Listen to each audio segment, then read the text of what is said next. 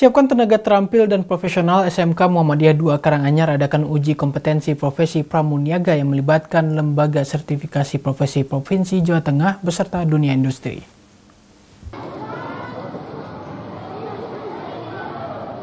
SMK Muhammadiyah 2 Karanganyar merupakan amal usaha Muhammadiyah yang bergerak di bidang pendidikan di bawah binaan Majelis Dikdasmen Pimpinan Daerah Muhammadiyah Kabupaten Karanganyar.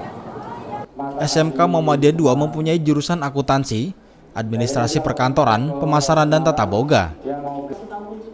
Dalam tolak ukur suatu keberhasilan proses pendidikan adalah diterimanya output kelulusan siswa sekolah menengah kejuruan di dunia industri. Untuk itulah SMK Muhammadiyah 2 Karanganyar mengadakan uji kompetensi profesi pramuniaga.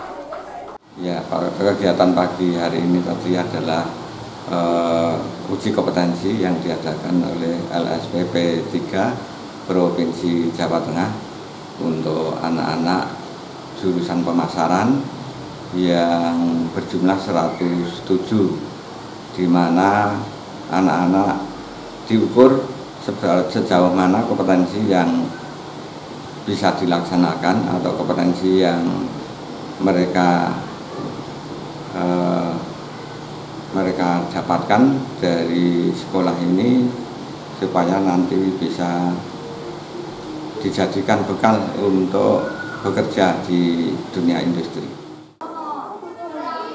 Uji kompetensi profesi ini diikuti oleh 107 siswa SMK Muhammadiyah 2 Karanganyar yang mengambil jurusan manajemen pemasaran. Dalam pelaksanaan ujian, siswa-siswi diharuskan mempunyai kecakapan dalam mendisplay barang, stok barang, mengisi beberapa administrasi penjualan, serta kemampuan para siswa dalam mempresentasikan sebuah barang.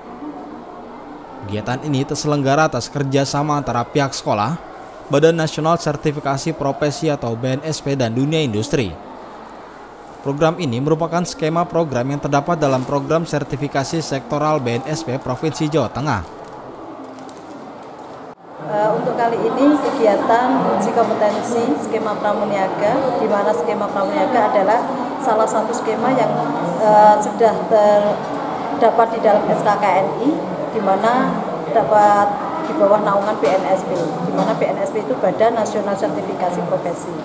Dan di sini eh, siswa SMK Muhammadiyah 2 Karanganyar ini sebanyak 107 melaksanakan uji kompetensi ini eh, program sertifikasi sektor di mana program ini yang dilaksanakan oleh Provinsi Jawa Tengah sehingga SMK Muhammadiyah 2 Karanganyar khususnya program pemasaran terjaring dalam program ini sehingga melaksanakan uji kompetensi ini dengan pembiayaan PSS.